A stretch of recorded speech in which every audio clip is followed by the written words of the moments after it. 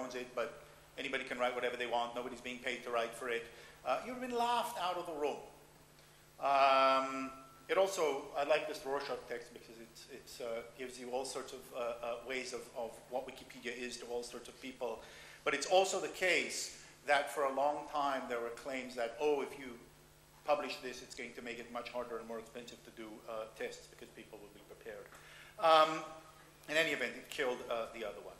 Um, this is not a uh, unique story, right? This is not a unique story. We go uh, uh, back uh, um, 20 years, I love the story Don was telling because it actually now easily and happily tells me the story 20 years before that as well. The thing is, who was yesterday's innovator is not the critical prediction of who will be tomorrow's innovator. When you buy 65 companies in 65 months, you have a theory of where innovation happens. And it's not not invented here. It's specifically not invented here. right? It's the opposite of the not invented here uh, uh, uh, syndrome. It's the embrace of that. And what I want to identify for you, and, and, and, I've spent a lot of time in the last 15 years or so emphasizing very much the importance of non-market activity to innovation, to freedom, uh, uh, a rich culture.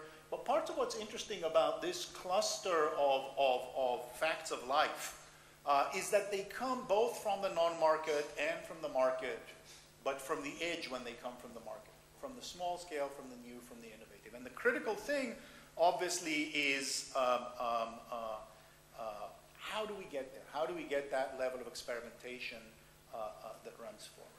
Essentially, if you look at what uh, Piore and Sabel described as the second industrial divide, the rise of the large firm integrated across um, multiple markets with wider scale, what we got was it was too expensive for decentralized innovation. Certainly when it was not market.